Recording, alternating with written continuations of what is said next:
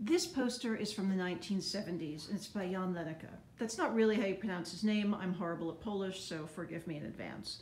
Um, but it's for um, Wagner's opera Tannhauser um, in Poland.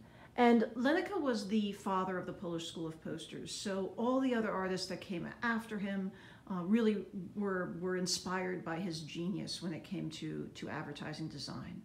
Um, posters in Poland at this time started getting very surreal, very subversive, um, they're just incredibly imaginative graphics. And uh, it, like the posters that we saw at the museum by the Stenberg brothers, um, out of constrictions and censorship usually comes the most creativity. So Poland is under communism at this time, and the posters that emerge are just so fantastical that nothing really has matched them since.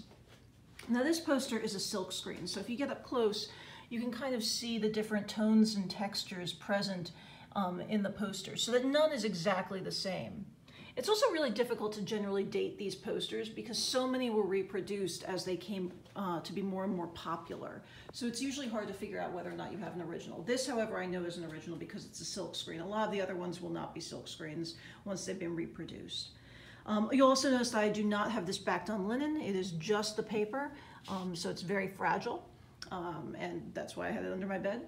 Um, and yeah, please look up more posters by this artist. They are amazing. The Polish School of Posters is a tremendous gift to the poster community. And that's today's poster.